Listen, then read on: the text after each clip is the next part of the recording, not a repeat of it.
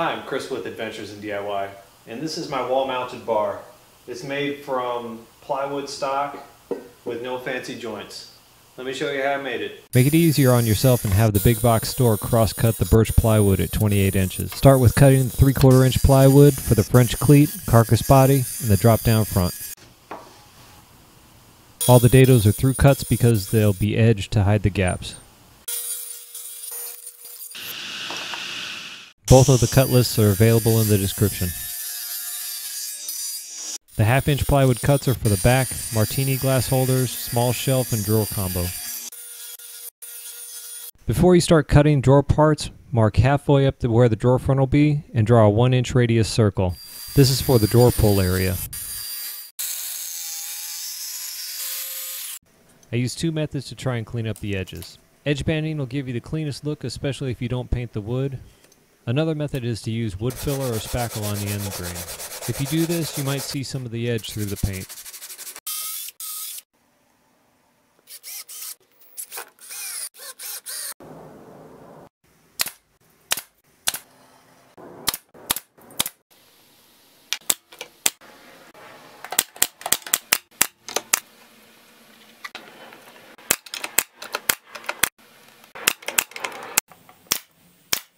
Assemble the drawer body first and finish it, paint your front, and then put it all together.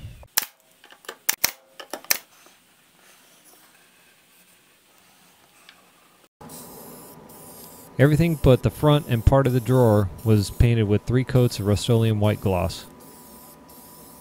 I used amber shellac on the front, pretty much because I didn't have any cherry stain. Then it was finished with lacquer.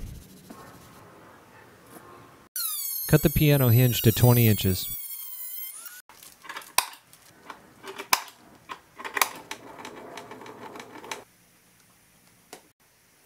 I'm using a $2 belt from a thrift store for straps. The straps are cut 16 inches from hole to hole.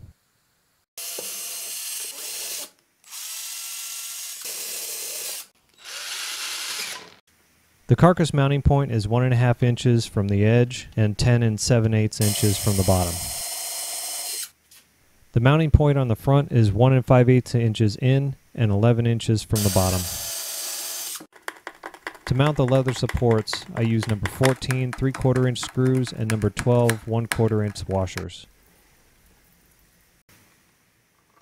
Two magnetic holders keep the front closed.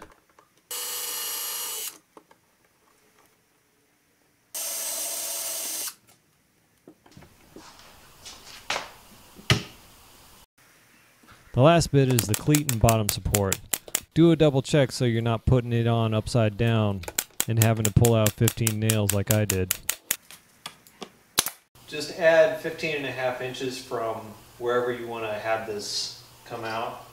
For me, I'm going to set it at 40 inches, so that means the mounting is going to be at 55 and a half inches. I'm just going to temporarily put this in place because this is going to end up being a gift. You would mount this into two studs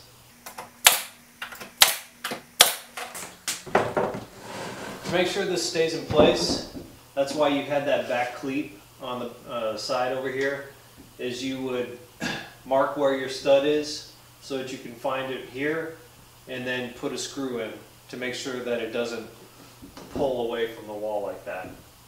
And some time for the fruits of the labor. I'd like to thank you for watching the video and uh, if you haven't already, please uh, like and subscribe. Check us out on those social media stuff. And uh, most of all, get out there and make something. Thank you.